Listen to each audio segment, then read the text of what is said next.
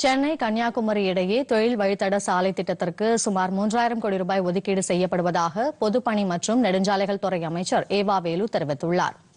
மேலும் சென்னை நகரில் போக்குவரத்து நெரிசலை குறைக்கும் வகையில் தேனாம்பேட்டை முதல் சைதாப்பேட்டை வரை உயர்மட்ட சாலை அமைக்கப்படும் என்பது உள்ளிட்ட பல்வேறு அறிவிப்புகள் சட்டப்பேரவையில் நேற்று அவர் வெளியிட்டார். சட்டப்பேரவையில் நெடுஞ்சாலை மற்றும் பொதுப்பணித்துறை மானிய கோரிக்கைகள் மீதான விவாதத்திற்கு பதிலளித்து பேசிய அமைச்சர் ஏவா வேலு பல்வேறு அறிவிப்புகளையும் வெளியிட்டார். முதலமைச்சர் சாலை மேம்பாட்டுத் திட்டத்தின் கீழ் நடப்பாண்டில் நூற்று ஐம்பது கிலோமீட்டர் சாலைகளை நான்கு வழித்தடமாகவும் அறுநூறு கிலோமீட்டர் சாலைகளை இருவழித்தடமாகவும் அகலப்படுத்தி மேம்படுத்த இரண்டாயிரத்து முன்னூறு கோடி ரூபாய் ஒதுக்கப்பட்டுள்ளதாகவும் அவர் கூறினார்.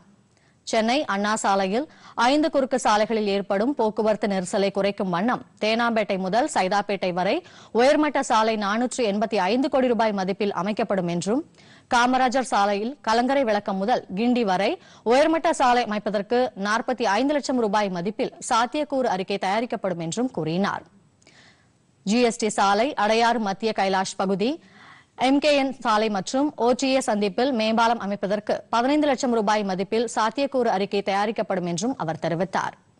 பொதுப்பணித்துறையில் பதினேழு பாரம்பரிய கட்டடங்கள் நூறு கோடி ரூபாய் மதிப்பீட்டில் பாதுகாப்பு மற்றும் மறுசீரமைத்து புனரமைக்கப்படும் என்றும் சென்னை சைதாப்பேட்டையில் டாட் ஹண்டர் நகரில் அரசு அலுவலகங்களுக்கான புதிய அடுக்குமாடி குடியிருப்பு எழுபத்தி இரண்டு கோடி ரூபாய் செலவில் கட்டப்படும் என்றும் அமைச்சர் கூறினார். முன்னதாக கவன ஈர்ப்பு தீர்மானத்திற்கு அமைச்சர் சேகர் பாபு பதிலளித்த நிலையில் பேசிய முதலமைச்சர் மு ஸ்டாலின் பிஜேபி உறுப்பினர்கள் தேவையின்றி அரசியல் செய்ய வேண்டாம் என்று கேட்டுக் கொண்டார். இதேபோல் கொரோனா ஒமைக்ரான் புதிய எக்ஸி வகை தொற்று பரவல் தொடர்பான கவன ஈர்ப்பு தீர்மானத்திற்கு பதிலளித்து பேசிய மருத்துவம் மற்றும் மக்கள் நல்வாழ்வுத்துறை அமைச்சர் மா. சுப்பிரமணியன் புதிய வகை தொற்றை தடுக்க தமிழக அரசு அனைத்து நடவடிக்கைகளையும் எடுத்து வருவதாக தெரிவித்தார். எந்த கொரோனா சவாலையும் சந்திக்க அரசு தயாராக இருப்பதாக கூறிய அவர் முன்னெச்சரிக்கை நடவடிக்கையாக விமான நிலையங்களில் பயணிகளுக்கு கொரோனா பரிசோதனை நடத்தப்படுவதாகவும் கூறினார்.